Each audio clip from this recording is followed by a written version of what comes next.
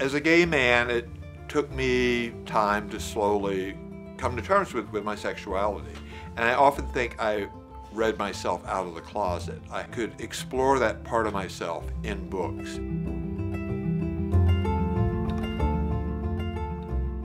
I went to college during the birth of the gay and lesbian freedom movement. I was marching in the streets and going to consciousness raising meetings and starting a small magazine um, and being a feminist activist and then a lesbian feminist activist. And that was a gateway to literature, to honoring your own, to become who I eventually became, which was somebody who could defend myself and other people.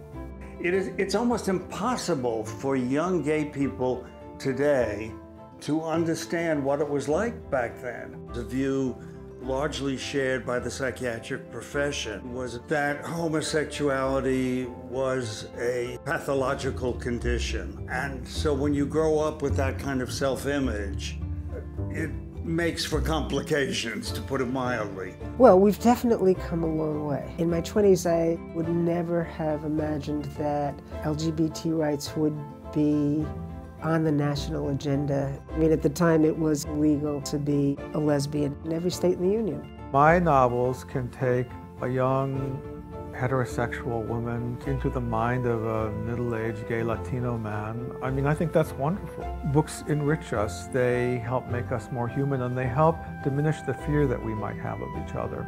The thing about In Such Dark Places, the main character is gay.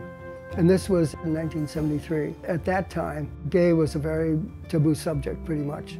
I knew that if I wrote this novel and wrote it the way it had to be written, which I did, in a way it was a coming out novel, and I had to make that decision. And I said, yeah, I'm going to write what I want to write. Pym addresses homosexual characters with enormous uh, delicacy, regarding them as entirely like everybody else at a time when homosexuality was still actually illegal in the United Kingdom. I think we've progressed quite a bit. Everybody knows what, what gay means. I think there's other things that gay people can strive toward, make it a part of life, which we're doing. The people are gay, and so what?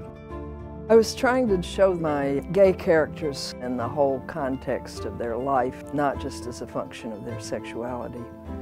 These are people just like every other person, you know, that we all have a lot more in common than not.